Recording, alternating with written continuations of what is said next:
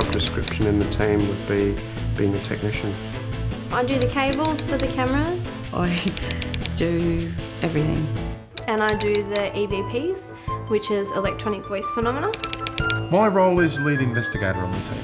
People associate what we do with crazy people. There's been some funny looks. I would describe us as researchers and investigators. Reason being is because it's a lot more than just going in and saying there's a ghost.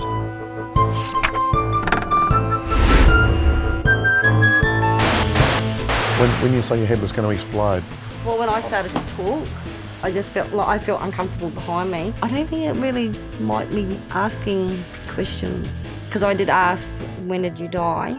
and then something happened too. I want you to sort of find out exactly what we're dealing with because, like I said, you know, at the end of the day, I'm the one left here with it. we are getting evidence to say that there is something there.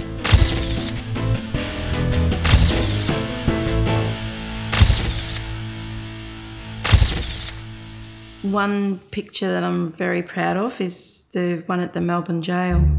You just see two outlines of black figures.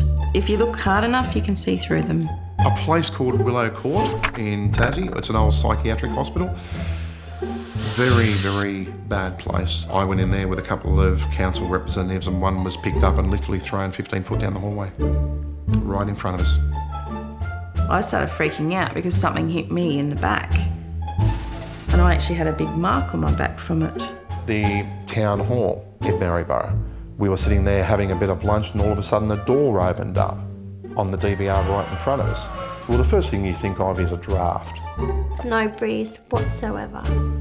It's one thing to see things on camera and see things on photograph, but when you're sitting there recording something and you hear a voice in the background and you know it's not yours, then that's very different. If you ask how many people are in the room, we've heard two.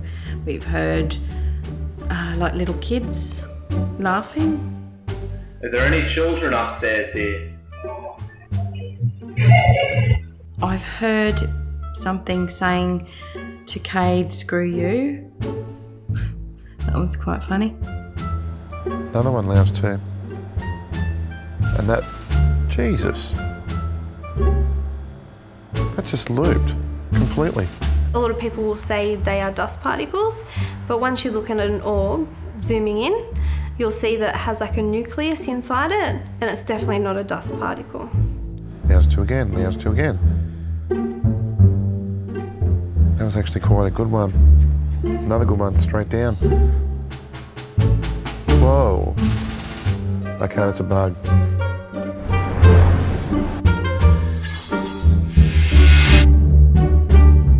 We really want to see more than just an orb.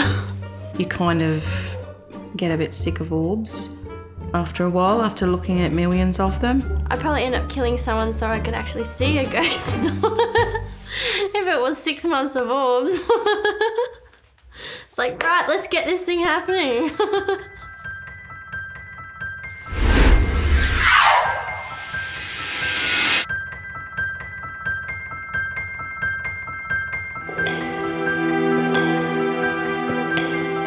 holy grail is to be the first team in Australia to capture a ghost on film and to be able to prove beyond a doubt that there is something there and show everybody. I think we're pretty close. I don't know what my reaction will be if I see something out of the ordinary. Hopefully, I'm not going to uh, need a second pair of underpants. Um, so who knows? Don't worry, I've got a pair in my car just in case.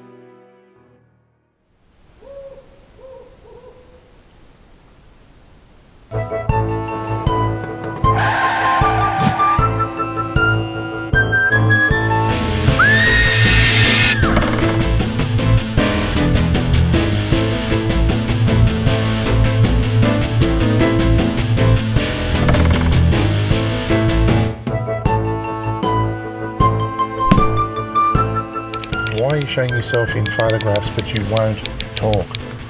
Please, if you can just let us know you're here. Let us know your name at least, please. That's all I'm asking. Please, let us know your name. Jesus, what was that?